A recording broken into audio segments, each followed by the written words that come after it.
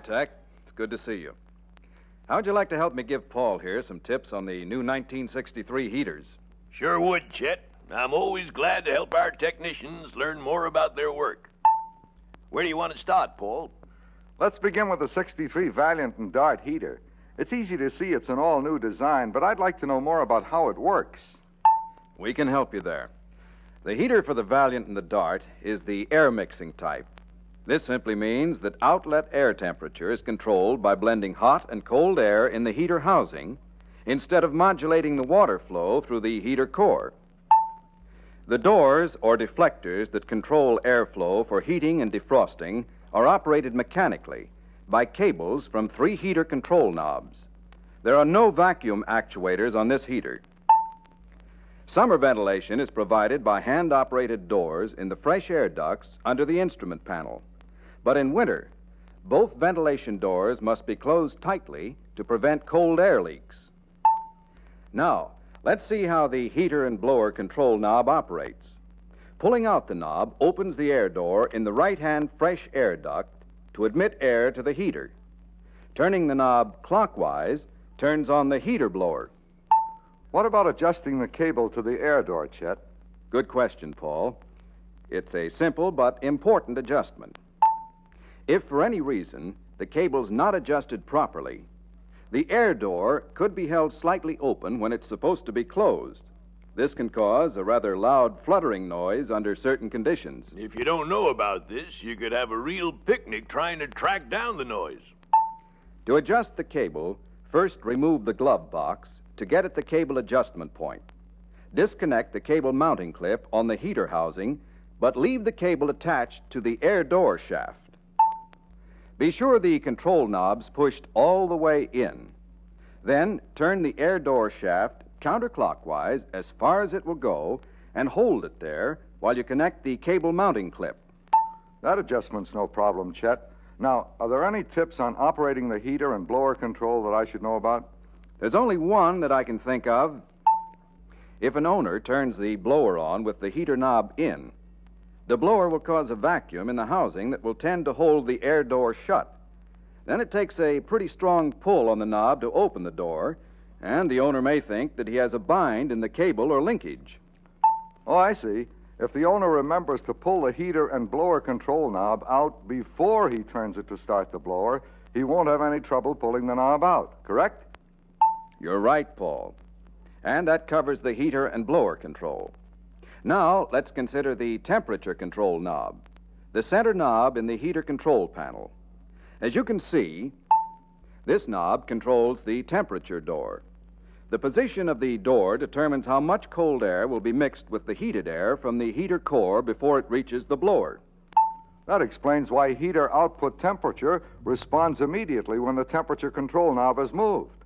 I suppose the adjustment of the temperature control cable is important too. You bet it is. I'd say it's the most important one of the lot. Chet knows what he's talking about, Paul. If the temperature control cable adjustment is off in one direction, the temperature door won't close completely in the high heat position. Then you'll never get the maximum heater output temperature because some cold air will always flow past the door directly to the blower, cooling the heated air. If the cable adjustment's off in the other direction, the temperature door won't close completely in the off position, so that some warm air will be discharged when the heater is being used for summer ventilation. Right. And either of these two conditions is sure to result in an unhappy customer. To adjust the temperature control cable, disconnect the cable mounting clip on the heater housing. Don't remove the cable from the temperature door shaft, though. Make certain the temperature control knob's pushed in. Then turn the temperature door shaft as far as it will go in a clockwise direction and hold it there while you connect the clip. Okay, I got that. Now, is there anything unusual about the defroster control? No, it's also a simple cable controlled door like the other two controls. When the defroster knob on the right side of the heater control panel is pulled full out, it delivers maximum defrosting. When it's all the way in, a slight amount of air still flows up the defrosted ducts to the windshield. And by using intermediate knob settings, the driver can choose just the amount of defrosting he wants. To adjust the defroster cable, disconnect the cable mounting clip and push the defroster knob in. Then, turn the defroster door shaft clockwise as far as it will go and hold it there while you connect the clip. It's not necessary to remove the glove box to make this adjustment. And that's the dope on the three control knobs and how to adjust the control cables, Paul. Well, there's certainly no problems there. Now, have you got any more good service tips on this heater? Yes, I've got a few suggestions, Paul. First of all, since you must remove the heater assembly from the car to remove the heater core or blower motor for service, here's a tip to remember if you've loosened or moved the blower on the motor shaft. Normally, there should be between 15 30 seconds and one half of an inch of clearance between the blower and the motor mounting plate. But this dimension varies with individual heaters. So, after you've installed the motor and blower in the heater housing, but before you put the heater back in the car, hook jumper wires to the motor and run it to be sure there's no interference between the blower and the housing. When you install the heater, be sure you don't get the hoses reversed. The hot water hose from the cylinder head should be attached to the heater tube closest to the blower motor. The return hose that leads to the water pump should be attached to the heater tube farthest from the blower motor. Well, Paul, that's all I've got on the new Dart and Valiant heaters. Thanks, Chet. I know these tips will come in handy later on. Now, let's discuss the Dodge and Plymouth heater next. Okay. First, I'm sure you've noticed that the heater in the Dodge and Plymouth is similar to last year's heater. Yes, I have, and that brings up a question. Does this mean that the things I've learned about the 62 Plymouth and Dart heater also apply to the 63 Plymouth and Dodge? They should, Paul. Of course, it depends just what you've learned. On poor heating complaints, I always check door weather seals and the firewall for cold air leaks. That's the first step in making sure the complaint actually originates with the heater and not somewhere else. I also check the thermostat to be certain it's in good working order, and I make sure the thermostat's a 180 degree one. It's really surprising how many owners return from summer vacation trips with 160 degree thermostats. I examine the cooling system to be sure it's not leaking, and I check the condition of all the hoses, too. While I'm at it, I make sure the heater hoses aren't reversed. Also, I see if the owner's using permanent type antifreeze, and I make sure the cooling system's full. If the coolant level is low, circulation through the heater core will be reduced and heater output will suffer. Of course, I'm sure you both realize that those are basic points any technician should know by heart. But the point we have to consider right now is the point on this phonograph needle. Okay, you two heater experts. Besides making sure the entire cooling system's in good shape, the thermostat's okay, the heater hoses aren't reversed, and checking for cold air leaks, what other heater service tips do you have? Here's one on heater controls. If you don't get full heat when the temperature selector lever is in the full warm position, a temperature control cable adjustment may be all that's needed. This is also true if you get heat when the lever is in the off position. That's right, Tech. In either condition, the trouble's due to the temperature selector lever hitting one end of its slot before the valve is fully opened or closed. And here's a point I've learned through long experience the control valve itself practically never fails because there's very little that can go wrong with it. In just about every case, proper adjustment of the cable will correct the trouble. Of course, you should also check the cable for sharp bends and kinks. I know why the temperature control cable adjustment's so important, all right, but what if the cable's okay and you still don't get satisfactory heating? A cold air leak in the heater itself is another possibility. Cold air leaks on the passenger side of the front seat, for example, can be caused by the rubber grommet for the blower motor wire being out of place. If you find this, just work the grommet back into place using needle nose pliers. Cold air leaks on the right side can also come from the flexible duct between the air inlet and the blower motor housing if it's not properly fitted and tightened at both ends. Don't forget to look under the heater to be sure the front edge of the carpet or floor mat is fitted under the retainer. If it's out of place, it could keep the deflector from going completely into the heat position. Then cold air from the fresh air inlet could flow directly into the passenger compartment. Sometimes an air leak at the deflector occurs when the actuator linkage is out of adjustment so that it doesn't go over center to apply enough tension to compress the deflector seal. To adjust the linkage, make sure the linkage is in the closed position by starting the engine and pushing the heat button. After stopping the engine, loosen the lever pivot screw slightly, just enough so that it can be moved sideways in the pivot bracket. Then, while pushing up on the deflector to ensure a good seal, twist the lever counterclockwise and toward the rear of the car. Hold the parts firmly in those positions and tighten the pivot screw. But supposing the cold air leak persists even after you've made the actuator linkage adjustment, what then? It's possible that the cold air is leaking past the deflector seal.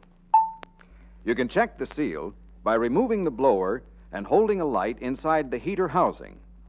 Look for light leaking out past the seal when the deflector is in the heat position. There should be no leaks all along the full length of the deflector seals. However, don't be concerned if a little light shines through beyond the ends of the seals. Just be sure you find and correct any big leaks that will cut down heater output. While you're checking that area, be sure the round seal at each end of the deflector shaft is doing its job, too. A leak at either of these seals could aim a jet of cold air right down on somebody's feet, you know. If you do find a leak, I suppose the next thing to do is to remove the deflector and straighten out or replace the leaking seal. Right, Paul. And it's not hard to remove and install the deflector without taking the heater housing out of the car. Well, Chet, those tips should help to correct cold air leaks in Dodge and Plymouth heaters. But what about other service problems, like a lack of airflow through the defroster vents, or no heated air being discharged at floor level, for example? Many air distribution problems can be traced to some part of the vacuum actuating system that controls the deflectors. The trouble could be in the push button switch, the vacuum hoses, or in the actuator itself. Vacuum hoses to the actuators are color coded with a red or white stripe. Always remember that the red striped hose is attached to the rod side of every actuator. Uh, hold it, Chet. There's one exception to that rule. On the Chrysler, Dodge 880, and Imperial air conditioners, the hoses for the bypass door actuator on the engine side of the unit are attached in the opposite order. The white striped hose goes to the rod side of the actuator, while the red striped hose goes to the other side. Tech's right, Paul. Don't forget that one exception when you apply the red to rod rule. And when you check the hose connections, also make sure the hoses aren't pinched or twisted. To disconnect a vacuum hose, catch a thin bladed tool over the end of the hose and work it off the fitting, twisting it a little as it moves off. And you'll find it's easier to install the hose if you lubricate the fitting with clean water. When past models come in for winterizing, take a moment to lubricate every vacuum actuator rod with silicone grease. Apply just enough to keep the rod from binding in the actuator seal. Be sure to wipe away the excess to keep dirt from gathering on the rod. Occasionally, if the rod isn't lubricated, it might bind and pull the seal right out of the actuator when vacuum is applied. If this happens, moisten the rim of the seal with clean water and press it back in place after lubricating the rod. Okay, but suppose the vacuum hoses are connected correctly and the actuator rod isn't binding, yet the deflector in question still won't operate right. What then? Most likely, it's either a ruptured diaphragm in the actuator or a leaking vacuum hose. To test for a ruptured diaphragm, remove both vacuum hoses from the actuator and place your fingers over the ends of both fittings. Try to move the actuator rod. If it moves when both vacuum chambers are sealed off, the diaphragm is probably leaking and the actuator assembly should be replaced. If the actuator is okay, I suppose the next step is to check for a leak in the vacuum lines. That's right, Paul. And if you find a leak, but the hose is in good shape otherwise, just cut the faulty spot out and splice the hose with copper tubing. Don't overlook the chance that the deflector itself might be binding either. And if you follow all these suggestions, you'll be able to clear up most any air distribution problem. Those are all fine tips. But you know, there's one Dodge and Plymouth heater we've been forgetting about. I mean the heater that's a part of the air conditioning unit for those cars. Glad you brought that up, Paul. I've got some suggestions for those units, too. Many of the points we've mentioned for the standard heaters also pertain to the air conditioning units. For example, being sure the owner knows how to operate his equipment properly, plus looking for cold air leaks and checking the condition of the entire vacuum actuating system. Current Dodge and Plymouth air conditioning units have a wire carpet retainer to prevent the front edge of the carpet from curling up and blocking off the warm air outlets. It's a good idea to install this retainer on 62 units, too. A cold air leak into the passenger compartment could occur if the recirculating door doesn't close completely when the heater's turned on. You're right, Tech. If this happens, it's necessary to remove the flexible duct and adjust the length of the fresh air door link so that the recirculating door is held tightly closed when the fresh air door is wide open against its stop. Uh, don't forget to take steps to make sure the blower won't run when the duct is removed. In addition, you'll have to adjust the travel adjustment screw if either door doesn't close tightly when the engine's running and the blower switch is operated in both the fresh air and recirculating positions. Yes, that's an important point. If you've determined that the unit's not giving enough heat, check the temperature control cable adjustment first. When the adjustment's correct, both ends of the cable housing will extend beyond the mounting clips, about 5 30 seconds of an inch. Another possible cause of insufficient heat that's quickly checked is a vacuum leak at the fitting on the top of the water flow valve. In fact, a vacuum leak anywhere in the temperature control system will reduce the heat output of the air conditioner. Another component of the temperature control system that should be checked is the temperature selector switch. You'll need a vacuum pump and gauge to do this. If the switch leaks or needs adjustment, heat output will be low. If there's no heat or heat output is erratic, test the calibration and check valve operation of the heater thermostat. Be sure to use a test hose of the specified length with a vacuum pump and gauge.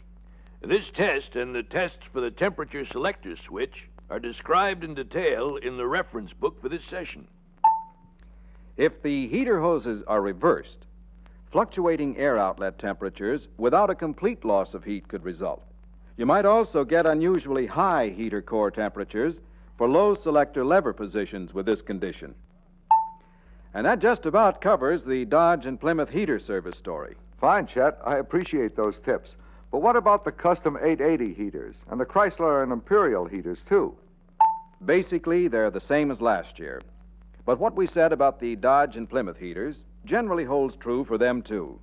You know, things like heater hose routing, temperature cable adjustments, vacuum actuator system diagnosis, and so on. Well, I sure learned a lot from you two guys today. Now I guess I better start using what I've learned to keep our service customers comfortable this winter. That's the spirit, Paul. Keeping your customers comfortable is one good way to keep your customers, you know. And that's worth remembering. Our dealership's reputation for service is made by the way we handle every job. To our customers, there's no such thing as a small service problem. They're all important.